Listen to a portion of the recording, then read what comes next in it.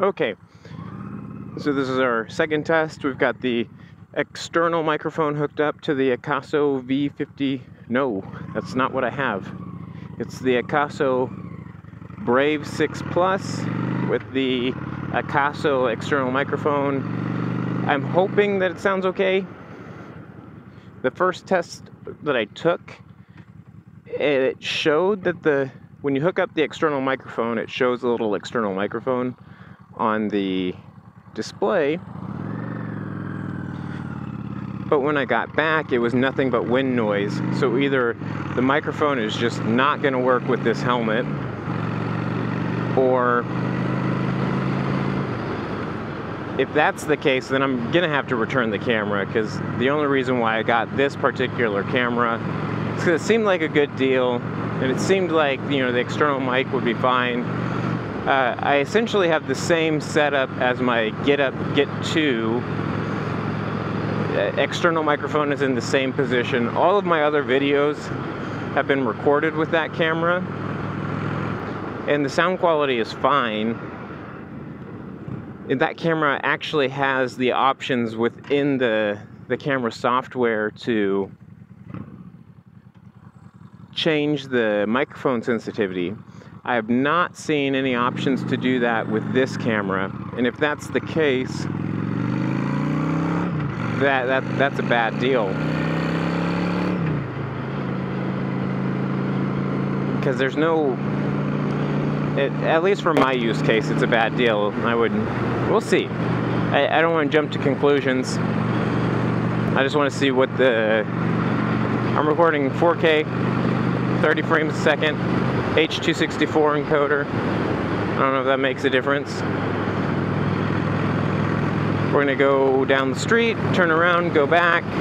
We'll turn into this neighborhood right here. It's just a short test video. I don't want to do a long video and then get back and it be all wind noise again. I, I just got back from like a 30 minute ride and that was that was really disappointing.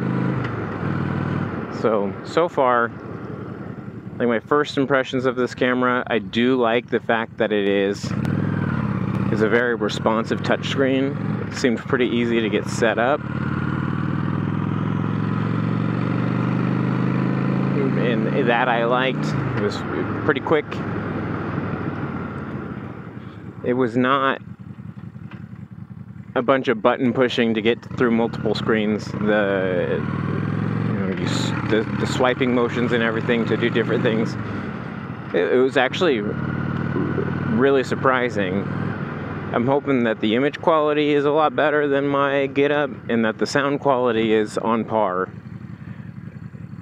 Hmm. I'm gonna wait for this yellow guy to go. So this is not going to be a long video and really not talking about motorcycle stuff at all today. I am on my Honda Shadow.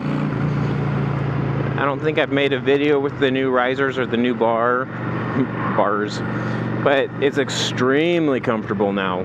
I can ride this thing for ever. Granted, if I have the right pants on.